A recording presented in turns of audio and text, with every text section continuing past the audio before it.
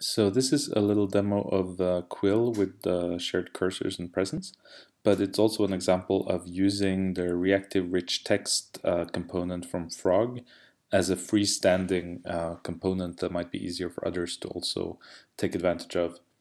So first of all, we have this uh, concept of a top level uh, presence here. So we just see that Anna is present, but the moment someone else joins, we see here that um, Chen-Li is right away uh, shown as active in this document and um, if he goes away he disappears right away. So this could of course be shown nicely with some uh, avatars and so on. Once I put my cursor we see here that it's tracking where I'm positioned. Um, you can see the selections here.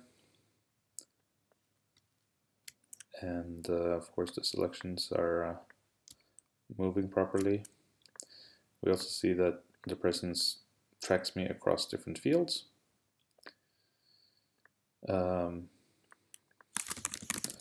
what's interesting is that we're also tracking um, the history of who has written what. So at any point we can uh, turn on colors to see who has written what.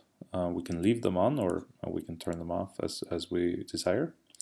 And uh, there's a lot of other fun stuff that you can do here too, but um, just quickly to show the advantage of having this um, be a freestanding uh, component, I'll just show you how quickly uh, the update goes if I save this page now. The load is um, very quick. So that's uh, all for now.